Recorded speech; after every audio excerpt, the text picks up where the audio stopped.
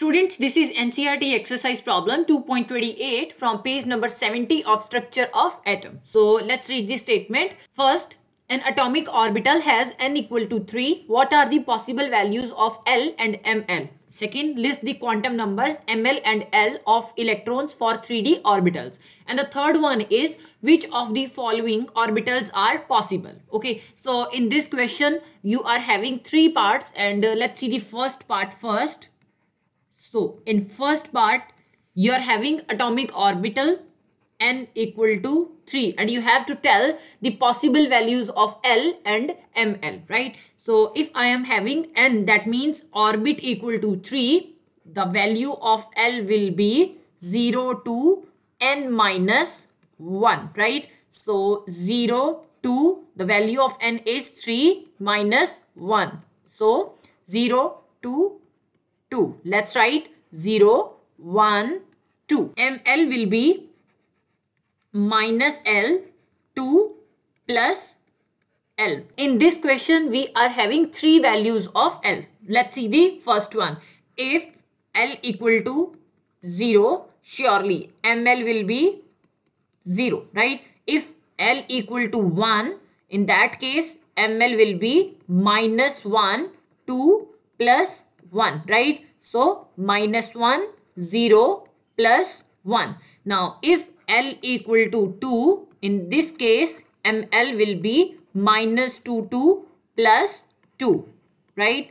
Minus 2 minus 1 0 plus 1 and plus 2 right? Now let's see the second question. List the quantum numbers ml and l of electrons for 3d orbital. In this question, we have to tell about the value of ml and l, right? So you can write over here 3d, right? In this case, this 3 represents the orbit, right? So it is the value of n and d will tell about the value of l. Now, if the value of l is 0, it is s orbital. If the value of l is 1, it will represent one of the p orbital. If the value of L is 2, it will represent d orbitals. And if the value of L is 3, it will represent f orbitals, right? So in this case, d will represent the value of L. That means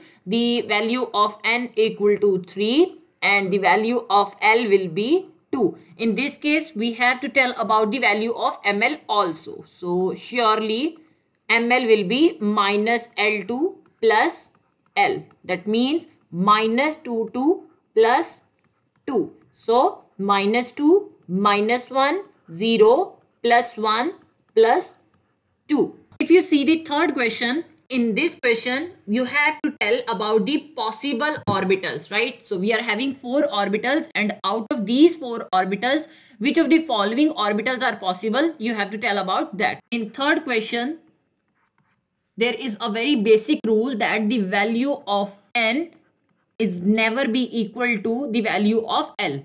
L is always less than n. That means if I am having n equal to 1, in that case L will be n minus 1. That means 1 minus 1 equal to 0. Now let's see the first problem. So the first one is 1p, right? First of all, we will see the value of n that is obviously 1.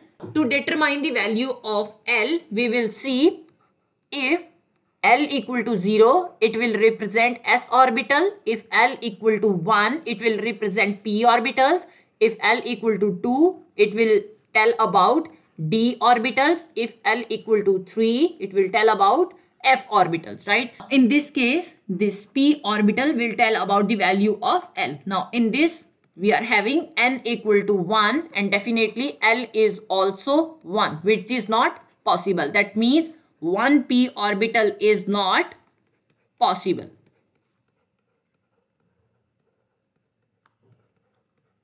Now the next one is 2s. Surely this 2 will represent the value of n and s will tell about the value of L. So in this case n equal to 2 and L is surely 0 because if the value of L equal to 0 it will represent s orbitals right? So surely this orbital is possible. So you can write 2s orbital is possible for this quantum number right? Now the next one is 2p obviously in this case n equal to 2 and L equal to for p orbitals L will be 1 right? So 2p orbitals are also possible.